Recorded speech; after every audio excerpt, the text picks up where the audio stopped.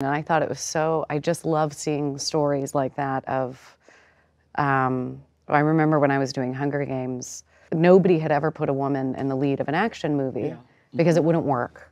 We were told girls and boys can both identify with a male lead, but boys cannot identify with a female lead. Oh, absolutely. And it just makes me so happy every single time I see a movie come out that just blows through every single one of those beliefs and proves that it is just a lie to Yeah. keep certain people out of the movies, to keep certain people in the same positions that they've always been in.